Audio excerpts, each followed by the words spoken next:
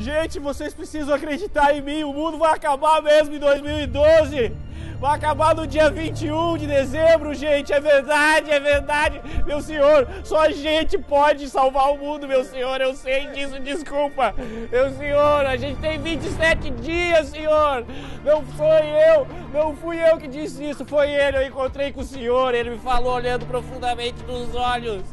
Matias, você tem a responsabilidade para salvar o mundo. Vai ter que convocar as pessoas. Vocês têm apenas 27 dias para isso. É verdade, eles estavam certos, gente. Vocês precisam confiar em mim, por favor. Meu senhor, temos apenas 27 dias para salvar o mundo. Vem comigo, meu senhor. Vem comigo, meu senhor.